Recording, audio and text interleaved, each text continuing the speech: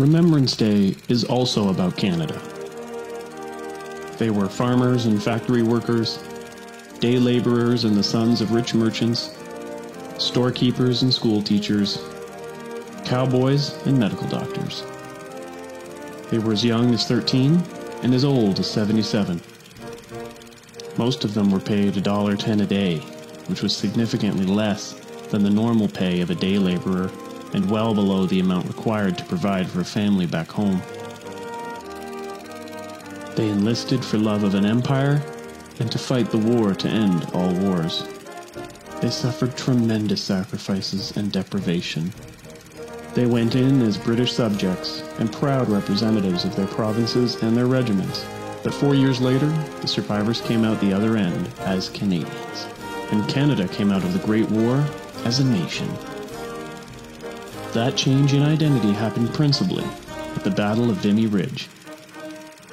Some 150,000 French and British had already died trying to capture the strategic ridge, viewed by many Allied commanders to be impregnable. The battle marked the first time that all four divisions of the Canadian Corps fought side by side under Canadian leadership.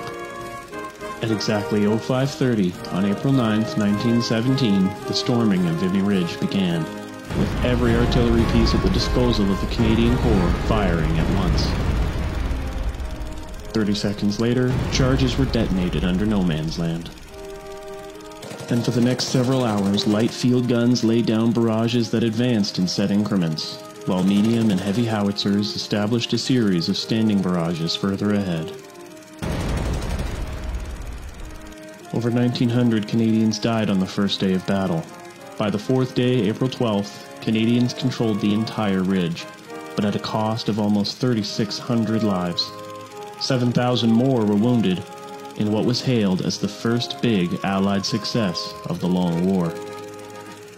The Canadian Corps were successful in capturing the ridge because of tactical innovations, technical precision, meticulous planning, powerful artillery support, and extensive training, and bravery four Canadians received Victoria Crosses at Vimy Ridge for their gallantry and heroism.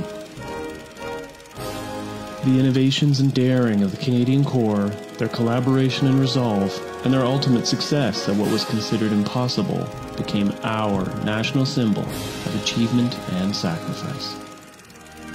250 acres of the battleground are preserved as the Canadian National Vimy Memorial, the ground we fought for and won that day has become hallowed ground for Canada. After the war, many of our dead were moved to the National Vimy Memorial. Over 11,000 Canadians are buried at and around Vimy. And in many, many ways, Vimy is the place where they first fought together as Canadians, died as Canadians, and are remembered as Canadians. In many ways, they created Canada, and we must never forget.